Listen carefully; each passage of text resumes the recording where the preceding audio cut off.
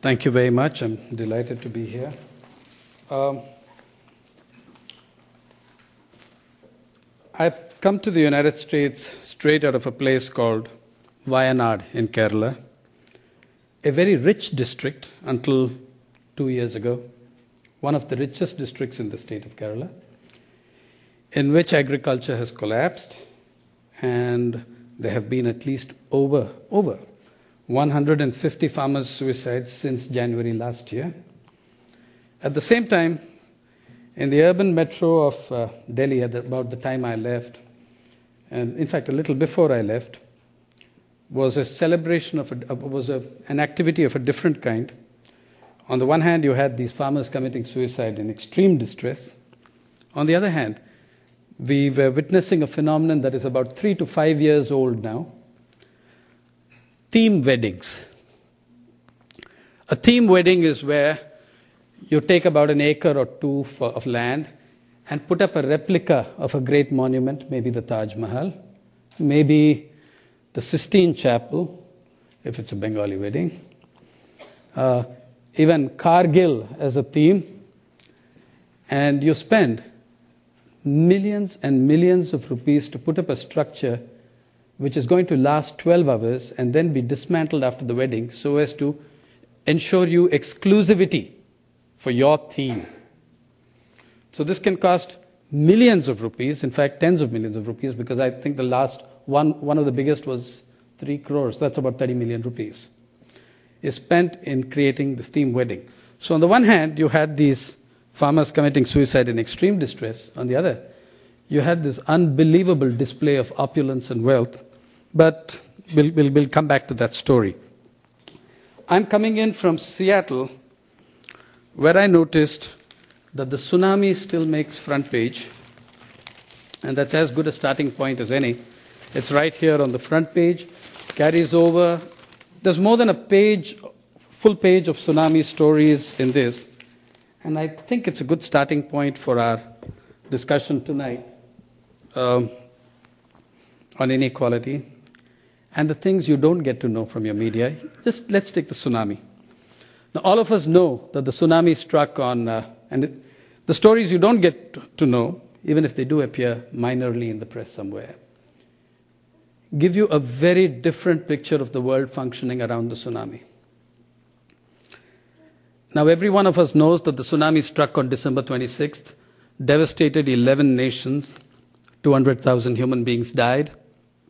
Um, 160,000 of them in five countries. And uh, we know about the outpouring of generosity, etc., etc. Here's something perhaps that most people don't know. Of the 11 nations devastated by the tsunami, five, only five, have anything approaching major stock exchanges. Five countries of the 11 have major stock exchanges. These are India, Indonesia, Thailand, Malaysia, and Sri Lanka. Here's the news. Within 72 hours of the tsunami striking, as it became clear that the damage was phenomenal, every one of these five stock exchanges reached their historic high.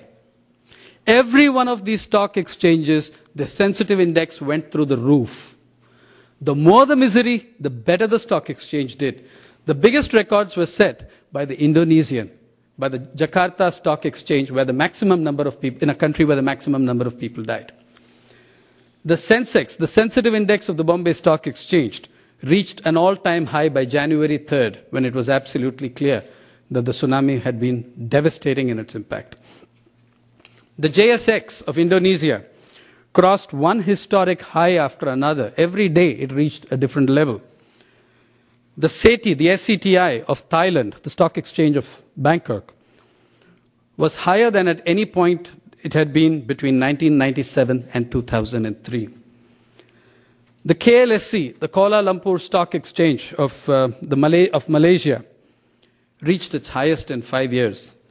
And the CSE, the All Share Index of the Sri Lankan uh, Stock Exchange, clocked in at about 16 points below its highest ever since it was founded. Now, if it had happened with one stock exchange, coincidence.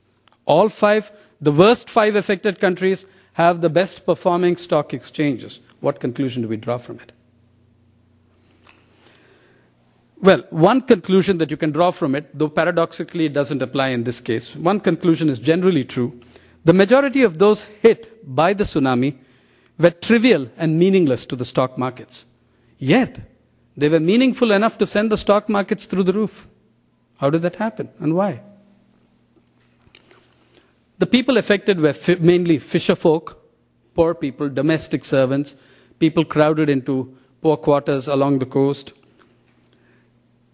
So they don't, many of them have absolutely no participation in the stock markets. So to that extent, they're marginal and trivial to the functioning of markets. However, the stock markets of our time also represent the interests of those who make money out of grief. The sense that sent the markets soaring was the smell of reconstruction dollars coming in.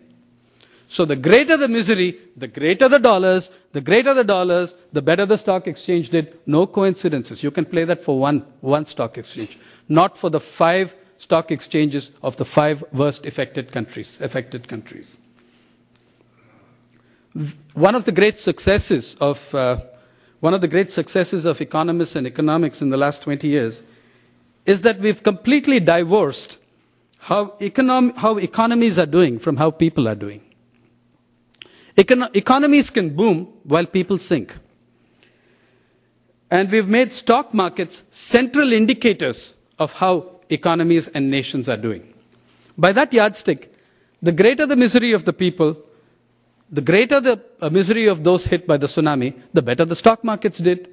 And the better the stock markets did, the better the nation is doing, because it's a central indicator of how national economies are doing. So the more miserable the poor, the better the countries are doing. In fact, I think it's a perfect metaphor of what's really happening in the world. Consider that the same sensitive index of the Bombay Stock Exchange, the Sensex, in May 2004, at the moment of the greatest triumph of the Indian people, when an electorate of 600 million voters showed the world what democracy was about, going to the polls in orderly democratic fashion, actually we know how to run elections, hmm? and uh, some countries still do. and 600, an electorate of 600 million people went out and against the predictions, the desires, the desperate desires of the Indian elite, the uh, upper middle classes, every single opinion poll, exit poll, the intellectual elite, the pundits of the, the pundits of the television channels, just annihilated the government they did not want. Just did it against all the predictions and against every against the majority of the editorials in the newspapers, which took for granted that the government was going to return to power. That was the greatest moment of triumph of the Indian people. What happened? The stock market collapsed to its worst position in many, many years. At the point when the Indian people scored their greatest triumph, the stock market collapsed. At a time of enormous misery of the poor, the stock market reached its historic high, crossing 6,600 on the sensitive index for the first time. That's why I call the sense, I call the Sensex the misery index. It operates in inverse proportion to the happiness of the greatest happiness of the greatest number.